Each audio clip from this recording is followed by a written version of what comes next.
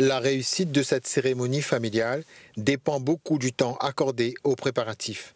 Le service cuisine a débuté bien avant l'aube. Plusieurs plats sont prévus. Là, notre est préparé la viande pour griller. Ben là, y a cabouille et puis coq. Et puis un morceau de foie cabouille. Comme là, les fin arrivés là, les, ou, les, ou en retard, en avance Non, là, nous, là, on avance. Cette année, la famille Nani joue la carte de la prévention. À peine 30 personnes sont invitées. Des parents qui ont effectué quelques jours de jeûne.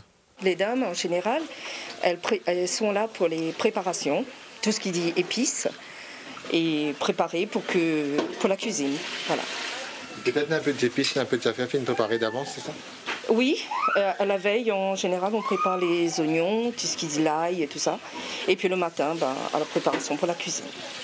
Le Samblani est un héritage direct des ancêtres indiens venus travailler à La Réunion, aux côtés de Kishna, le chef de famille, un poussari, c'est-à-dire un officiant qui préside la cérémonie.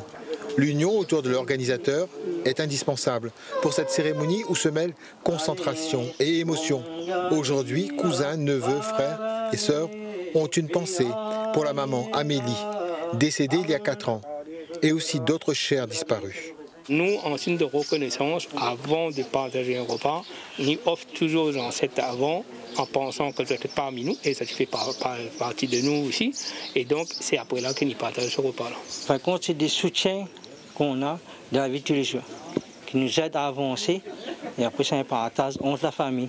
En général, les Malbars ou hindous organisent la cérémonie Samblani jusqu'à la fin de ce mois de novembre.